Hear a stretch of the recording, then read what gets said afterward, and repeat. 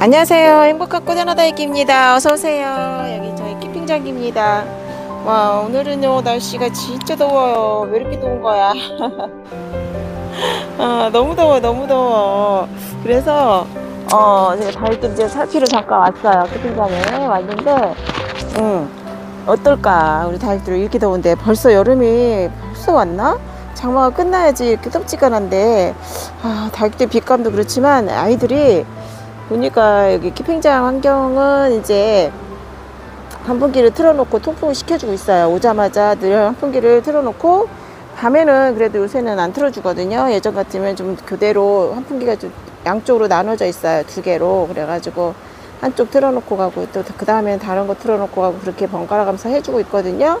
그래서 오늘 또 제가 환풍기를 틀었는데 어우 시끄럽죠? 좀 소음 있어. 그런데 요새 여러분 꽃대에서 혹시 이런 벌레 같은 거 안 생겨요? 이렇게 벌레 보시, 보이시죠? 애벌레 같은 이런 게 꽃대에서 자꾸 나타나네요. 올해는 희한하네 꽃대가.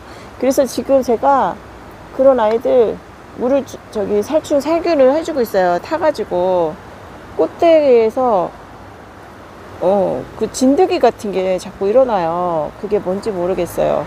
근데 아, 날씨가 좀 요상한가 올해는?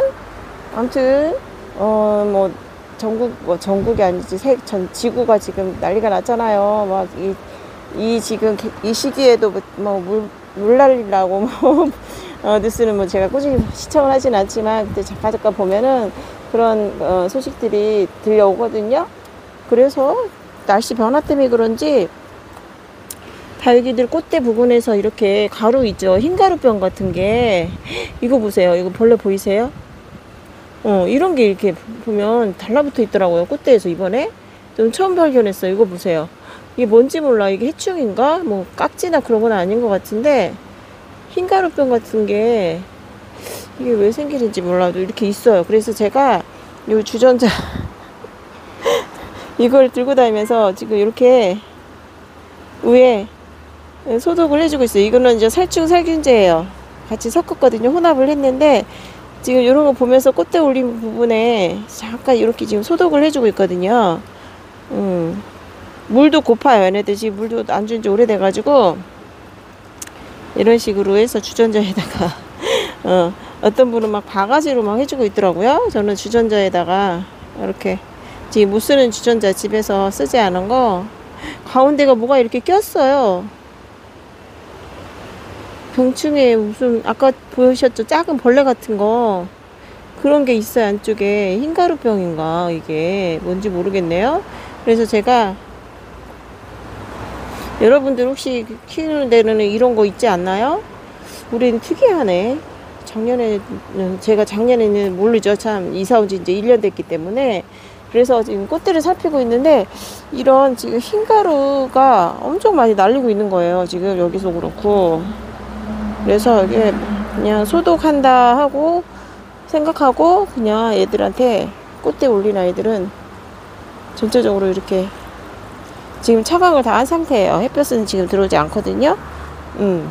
햇볕이 지금 세게 들어오면 안 되니까 여기 보실래요? 여기도 그래요. 이렇게. 그래서 아씨, 미리 했어야 되나? 이런 게 있어요. 그래서 지금 잡아주기도 하고 막 그래요. 닦아주기도 하고. 음, 블루애플도 꽃대 부근에서 막 그러는 것 같고. 그래서 뭐 이제 많이는 주지 않고 음, 이렇게 주전자 들고 다니면서 아이들을 살펴보면서 이렇게 하고 있는데 이게 완벽 케어가 될지는 모르겠어요. 이게 꽃대 주변에 흰가루병처럼 어, 진드기 물처럼 끈적끈적한 것도 보니까 만져보니까 그런 것 같고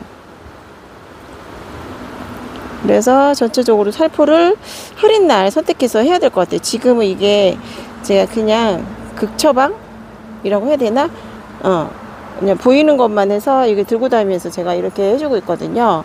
어, 지금 여름인데 너무 더워도 더우니까 아직 장마도 안 왔는데 벌써 이러면 큰일이네.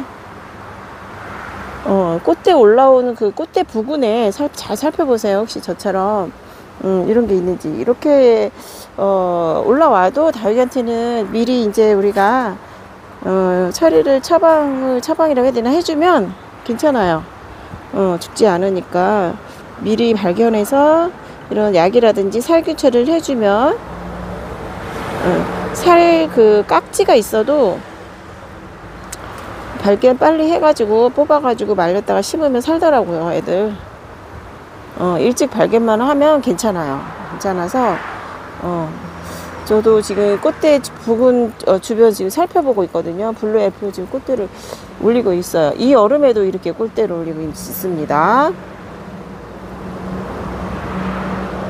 아, 이거 뭐 보세요. 꽃대 올린 거. 제스타도 꽃대 올리고 있고 어 여기 막 통풍 아니 뭐지 뭐 환풍기를 막 틀어놓으니까 애들이 먼지 같은 게 공중에 떠다니면서 이렇게 먼지 거무지 거미줄을 이렇게 치고 있어요 이렇게. 이런 식으로. 아까 제가 엄청 심한 거 발견해가지고 다 지금 약물에다 아예 퐁당 담궜다 뺐거든요.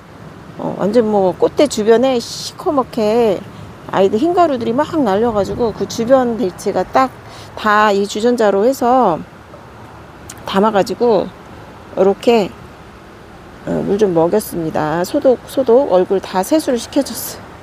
어, 이거 가지고 될라나 모르겠어요. 이렇게 들고 다니면서 어, 이제 날씨가 지금 너무 덥고 어, 습, 습한 것보다는 너무 더워요.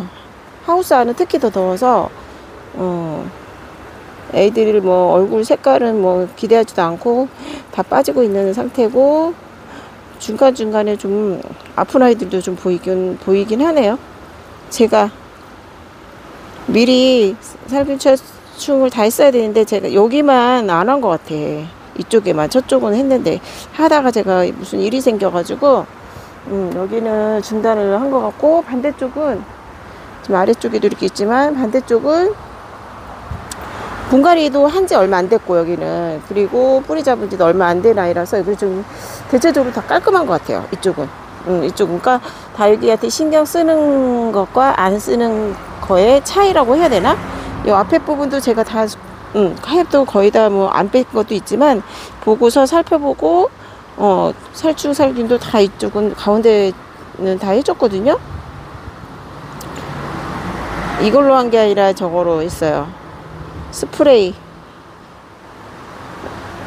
어, 약치는 그 자동 분사기로 해서 위에 다 해줬고 해줘서 그런지 이거는 좀 덜한데 와 아주 목대군생들 있는 자리 방금 전에 보신 그쪽 그쪽은 난리가 아니에요 지금.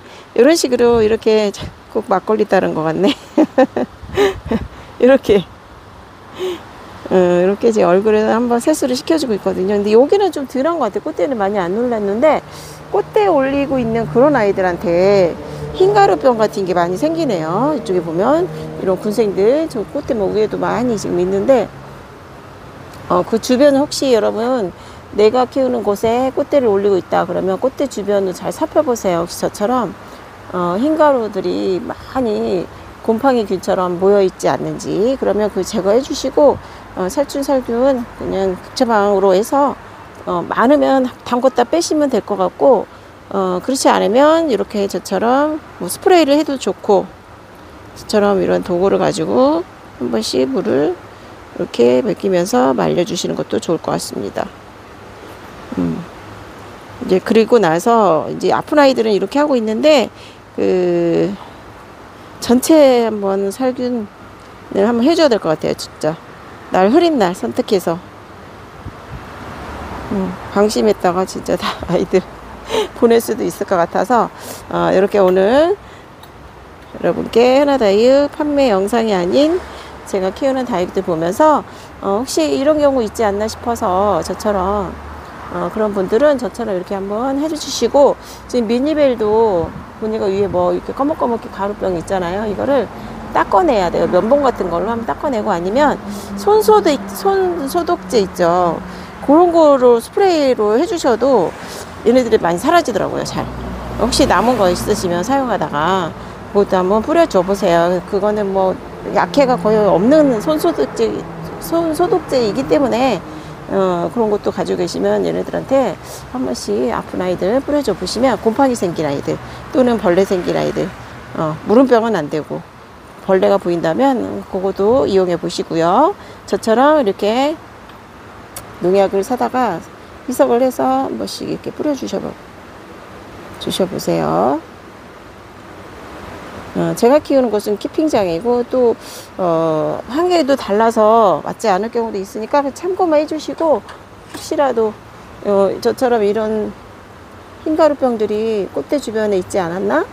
어, 저만 그런가? 여러분도 한번 살펴보시고 안 생긴 것이면은 다행이고 생겼다면 이렇게 처방을 해주시고 그러시면 될 것 같아요. 아우 색깔이 진짜 완전히 뭐 다 빠져가지고 어, 이쁘진 않죠. 그렇지만 뭐 이쁘진 않아도 아프지 않게 여름 잘 놔줬으면 좋겠다는 그런 마음 가지고 얘네들을 보살피고 있답니다. 하엽도 막 안 떼줘가지고 지들이 그냥 내려왔네요. 바닥으로 막 내려왔어 이렇게. 아 큰일이다. 여름 앞으로 여름 8월 중순까지는 잘 버텨야 되는데 얘네들 어떻게 더운데 잘 있어줄지 참 걱정이네요. 어, 저도 같이 사람도 덥지만 식물들도 무척 더워요. 음, 그러니까 여러분들도 신경 써서 달기 보살펴 주세요.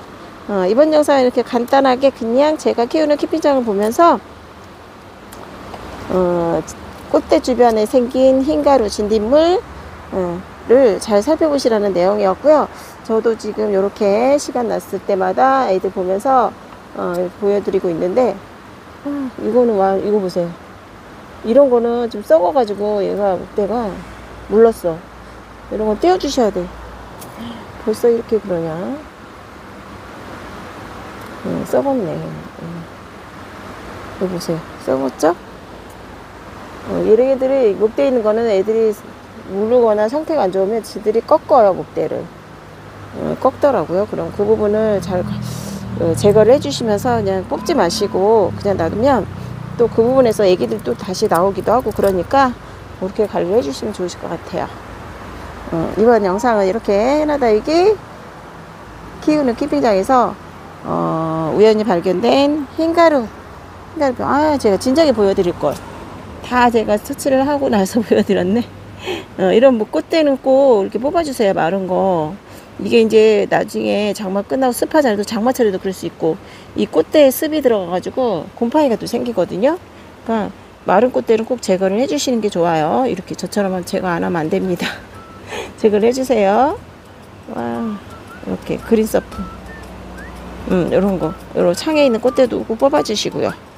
음, 꽃대 제거는 꼭 해주셔야 돼요. 꽃대에 대한 저도 안 좋은 추억이 있어서, 물을, 어, 꽃대만 보면 제가 사정없이 뽑아요. 그래서, 어, 실수한 적도 많아요. 꽃대 뽑다가, 어, 얼굴 다치게 한 경우도 있고, 막, 니가 이기냐, 내가 이기냐, 막 하다가, 일정 많이 부러지고, 어, 그런 적이 있, 있었죠.